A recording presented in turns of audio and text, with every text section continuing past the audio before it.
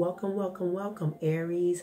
Let's get into your June 2020 overview reading for the month. I have a three card spread, but the divine is giving us some some answers for you to look out for for the month of June 2020. I have the King of Cups as your starter card and it's in reverse. And let me give you a little bit of some things that's going on for you this month. This reading may or may not resonate with you, but if you take your time and journal it, you will see how it'll unfold for you for this month. So, Aries, we have the King of Cups. Now, you're going to be making some decisions on whether to trust certain people in love matters or business decision, decisions.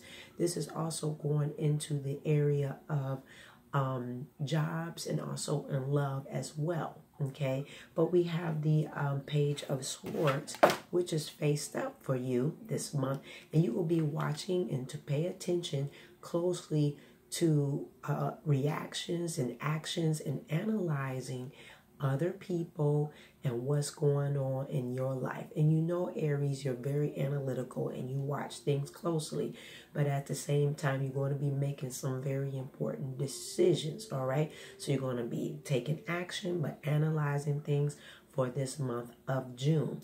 Now, as we have um, the five of coins in reverse for you, okay this will all be about making decisions.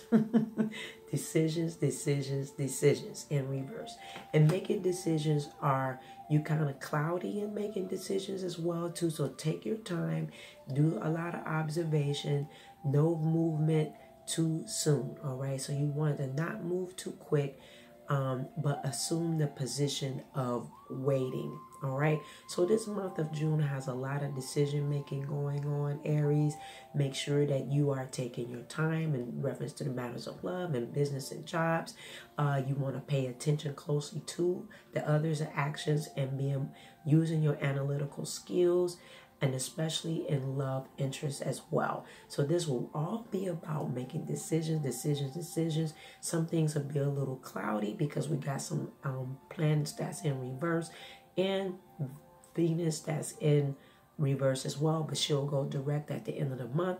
So keep in mind, be do not be quick in making decisions, but rest and wait, and possibly wait until going into July before you make major decisions because there's a lot of um, fogginess and cloudiness. And this also has to do with the planet of Neptune that has a position in reverse as well that does take us that does play a part in cloudiness. All right?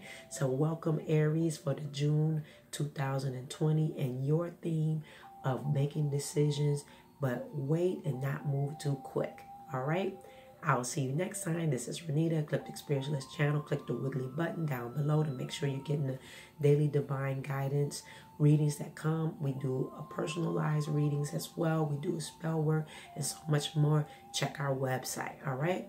Continue to grow and go through June and have a great month going into the summer equinox for the northern hemisphere and those that's in the northern hemisphere, the winter equinox. See you next time. Bye bye.